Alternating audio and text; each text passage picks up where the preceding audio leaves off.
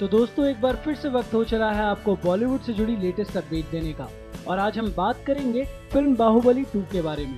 Film को release हुए अभी एक ही दिन हुआ है और फ़िल्म ने नए नए रिकॉर्ड्स बनाने शुरू कर दिए हैं। इसी के साथ सभी लोगों को इस बात का जवाब भी मिल गया है कि आखिर कटप्पा ने बाहुबली को क्यों मारा? और अगर आपने अभी भी बाहुबली दो नहीं देखी है तो आपके लिए है हमारी ये खास रिपोर्ट। और आज हम बात करेंगे उन चीज़ों के बारे में जो इस फ़िल्म को खास बनाती हैं।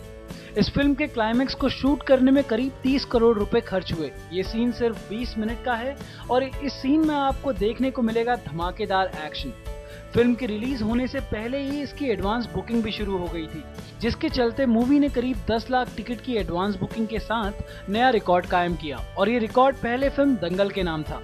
फ़िल्म के ट्रेलर की बात करें तो इस ट्रेलर के नाम भी एक रिकॉर्ड है। ये ट्रेलर हिंदी मूवीज़ का सबसे ज़्यादा देखा गया ट्रेलर बन गया है।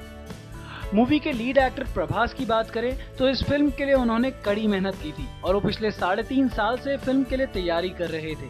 फ़िल्म से जुड़े हर इंसान की मेहनत सफल रही और फ़िल्म बॉक्स ऑफ़िस पर नए नए रिकॉर्ड्स कायम कर रही है।